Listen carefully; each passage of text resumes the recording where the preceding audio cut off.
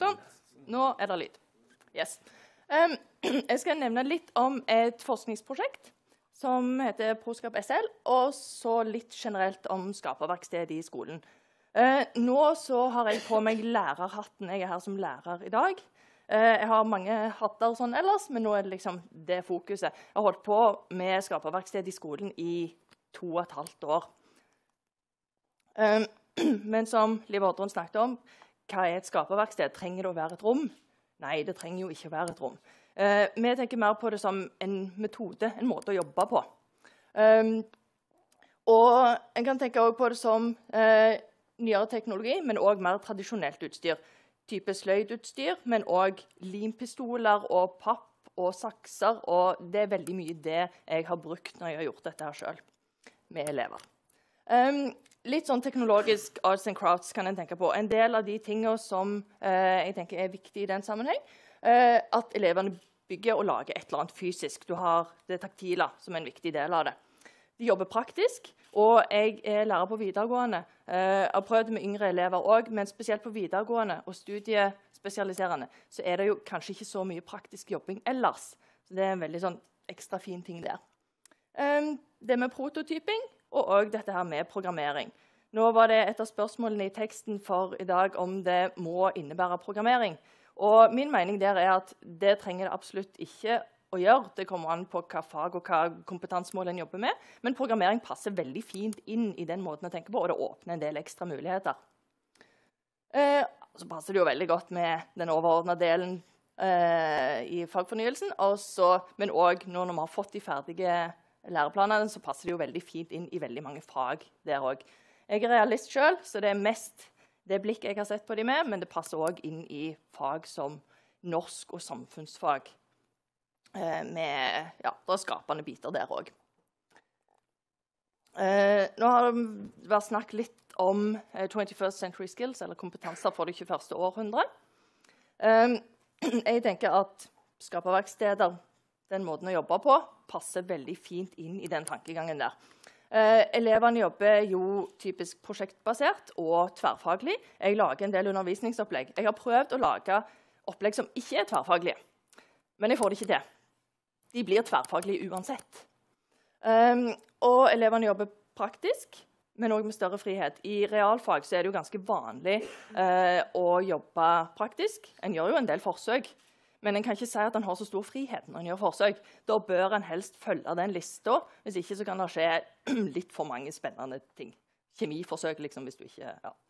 Um, det med growth mindset det kan vi jo si en del om forskningen der. og sånn. Uh, egentlig Poenget der med å ta opp det, det var at når en jobber i et skaperverksted, så er det typisk å gjøre flere iterasjoner. Du gjør et første forsøk, og så er det ikke helt sånn som du har tenkt, og så går du tilbake igjen, og så endrer du og forbedrer hele veien det kan være med å bidra til at elevene utvikler et growth mindset eh, gjennom det at de tør å feile, eh, og da lære av sine feil. At det blir litt sånn skuldrene senker seg litt. Grann. Spesielt på videregående når elevene mine kommer, så har de liksom skuldrene der, og så får vi dette på prøven.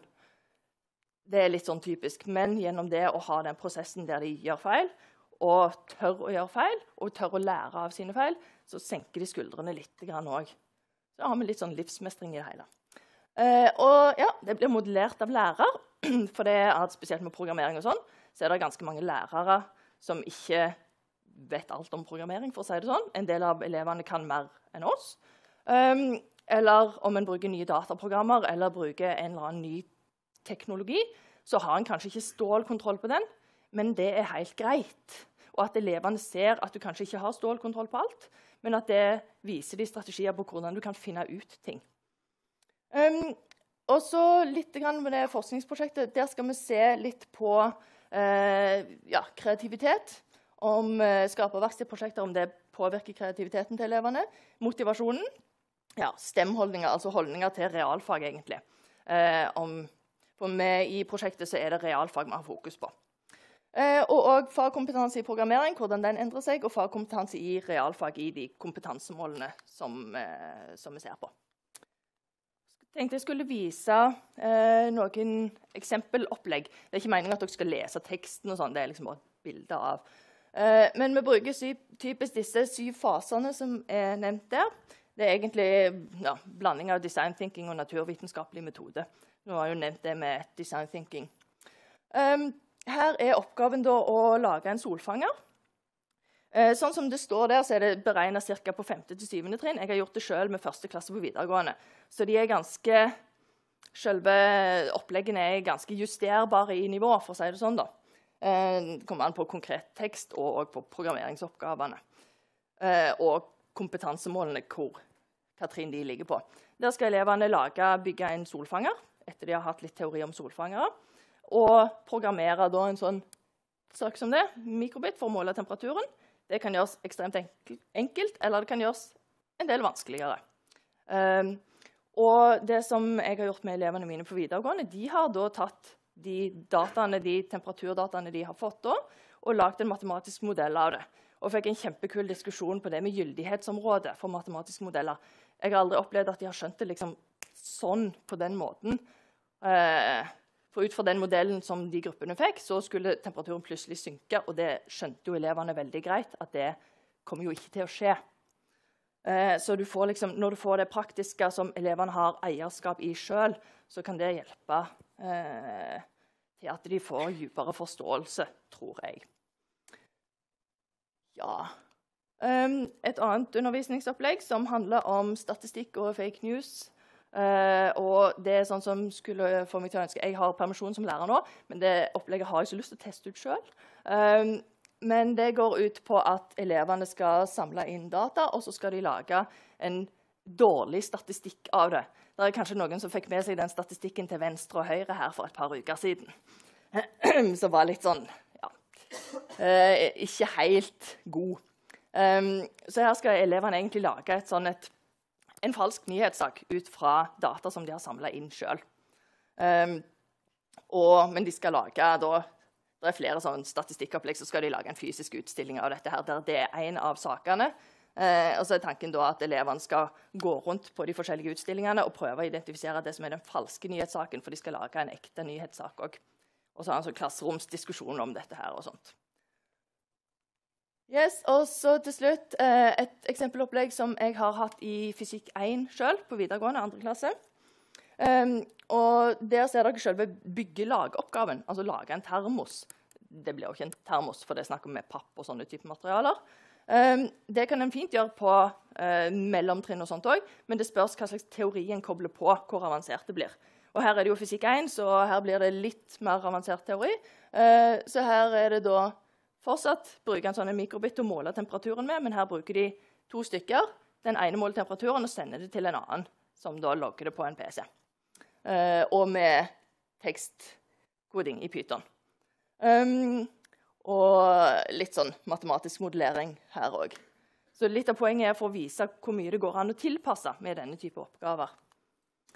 Yes, uh, Det siste er litt om det forskningsprosjektet. Vi har starta så vidt opp. 16.9. starta vi. Eh, bare litt av de ja, så kan vi ta samarbeidspartnere først. Vi, er finansiert av regionale forskningsfond hovedstad, Hovedstaden. Eh, og så får vi litt sponsing av Tekna òg. Eh, og samarbeidet med Universitetet i Oslo, de som har den største delen av forskningen, men òg med Oslo OsloMet og med NIFU. Uh, ja, så ganske mange der, egentlig. Og til slutt så samarbeider vi med et par bedrifter, som da er Kodegene og Gan Aschehoug. Uh, det er jo for å utvikle læremidler, rett og slett. Um, så det er jo et forskningsprosjekt, men det er et forsknings- og utviklingsprosjekt. For vi driver på å lage undervisningsopplegg. Uh, litt sånn teknisk utstyr og sånn. Det som vi finner ut at trengs, som mangler, det gir vi beskjed til Joakim i Kodegen om, så lager han det for oss. Det er veldig greit. Um, utvikle litt sånn kurs, etterutdanning for lærere, som vi skal prøve å implementere litt sånn rundt omkring. Um, ja, så forsker vi på programmeringsdidaktikk. Vi har en modell der som vi ser litt på. Uh, ja, og så blir det forhåpentligvis ei lærebok og sånt etter hvert til bruk i lærerutdanningen. Uh, og så holder vi på med eller det vil bli noen lærebøker for elever òg Eh, i programmering i skaperverksted-kontekst tverrfaglig. Ja Og det blir hos Gan Aschehoug, som vi da samarbeider med. Jepp.